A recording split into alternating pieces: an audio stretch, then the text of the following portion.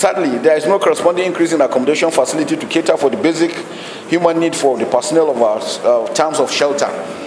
Why is most of the troops are deployed out?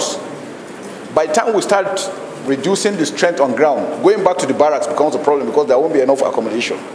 This development therefore poses some negative effects on the morale and fighting efficiency of the troops. This situation will also require your intervention so as to ameliorate the challenges. Issue of funding for the operational purposes. The need to, for adequate funding of the armed forces to overcome the issues of combat supplies such as ration for the troops, petroleum, oil and lubricant, equipment and maintenance through the procurement of spare parts and similar others in these categories are necessary.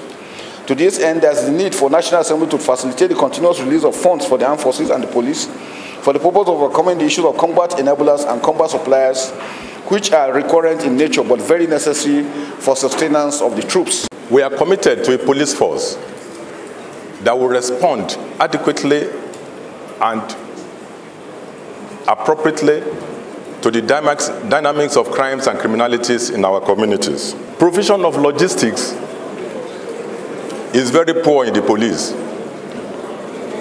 We have 1,537 police divisional headquarters across 774 local governments in Nigeria.